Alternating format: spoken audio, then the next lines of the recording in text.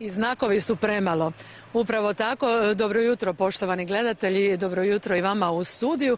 Da, e, mi smo jutros došli na jedno od raskrižja ispred jedne osnovne splitske škole da provjerimo kakva je situacija sa sigurnošću u prometu. Kao što svi znamo, već godinama se održavaju vrijedne akcije. Poštujte naše znakove. Dobro jutro, želim gospodinu Oreškoviću.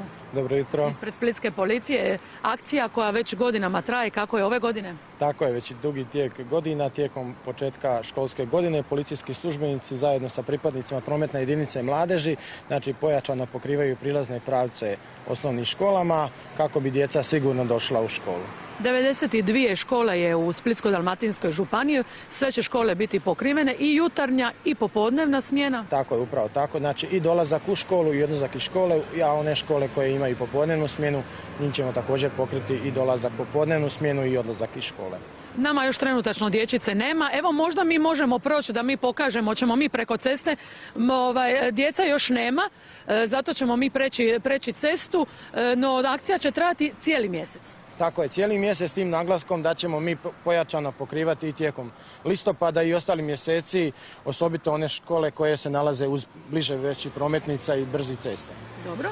E, treba kazati da je danas i dan grada Solina, mi im čestitamo i blagdan e, Male Gospe, stoga će i posebna regulacija biti prema e, svetištu Solina i Vepricu. Tako je, cijeli dan prema Solinu imamo posebnu regulaciju prometa gdje su policijski službenici također pojačani sa pripadnicima prometne jedinice mladeži koji će regulirati i osiguravati nesmetan dolazak do časnika. I još mi samo kažete jesu li se naši građani vozači naučili na ovo? Pa evo, upravo mi iskorištavamo, iskorištavamo i, i ovakvu priliku kako bi građane potaknuli.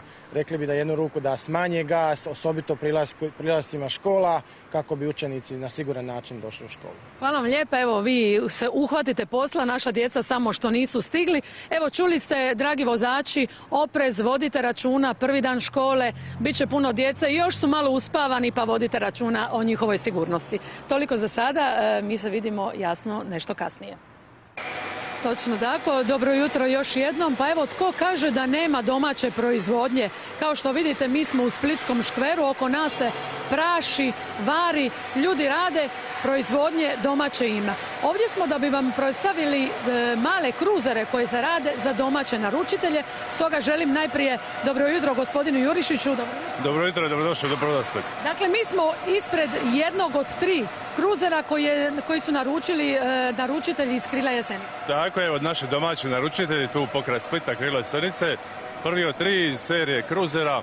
Ovo je jedna odlična nastavak, jedna odlična suradnje koja je započeta 2012 kada smo, odnosno od onda smo isporučili četiri, evo sad ova tri uskoro će biti spremni, odnosno da sljedeće sezonu spremni za, za prevozit, za, za plovidbu, da. Hvala vam lijepa. Evo ja ću samo malo preći. Gospodin Jurašin, dobro jutro i vama. Kakve su nam karakteristike ovoga malog kruzera? Ovaj mali kruzer se radi za obitelj Grubiša. 40 metri je dug, priko svega, širine oko 8 metri, gazi negdje 2,5 metara, može primiti 36 putnika, Posada je obično obitelj koja, tako da su ono organizirani odlično. Brod je čelični, cijeli, neki 150 tona čelika. Vi radite sve osim, osim ovaj, e, unutarnjeg uređenja, to oni ljudi sami tamo rade. Mi ovdje napravimo čelik i propulziju.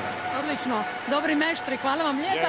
Evo gospodine Jurišiću, još da vas pitam što Škver još dalje radi, malo nam je bučno ovdje, ali mislim da se čujemo. I evo smo u srcu Škvera, gotovo ovaj, Dakle, osim ovih brodova koje smo spomenuli, knjiga naružbe Brodosplitova je stvarno puna do 2016. Posla za sada 2500 tisuće ljudi ima. Osim, dakle, e, radimo i brodova koje smo naslijedili od bivše uprave. Radimo jedan veliki riječni kruze za ruskog naručitelja, jednu motornu jaktu za nas koje ćemo sljedeće sezone dati u čarter. To je nešto Ala Abramovićeva. Ala Abramovićeva skoro jer kako, kako imamo čut e, najam te jakte tjedni će biti preko pola milijuna eura.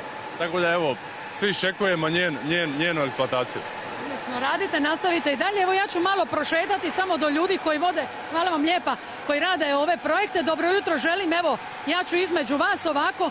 Vi ste mi cijelo ljeto radili na brodu, kakva je atmosfera na brodu, kako ljudi rade? Atmosfera je radna, ljudi rade ovo su jedna lipa stvar za radit, e, ovo su naši hrvatski brodovi i onda gušnje vese- veseli ovakav rad i šta više ovakvih brodova da se mi iskažemo na ovakvim poslovima i da onda bude šta više, da šta više naših malih e, privatnih brodara u nas naruči takvih brodova. Lijepo, je li vas ljeto umorilo? Evo, mi ne možemo do varioca visoko, je li vas ljeto umorilo? Dobar dan, e, ja sam e, poslovođa na Novo- Novogradnji 533. Ljeto je bilo malo povoljnije nego inače, ali bilo je dosta vruće. Posao ide. Posao ide. Odlično, hvala vam lijepa, vratite se vi vašim papirima. Eto ga, čuli ste sve, drago nam je vidjeti da se radi, da se posluje. Toliko za ovo jutro, vidimo se sutra.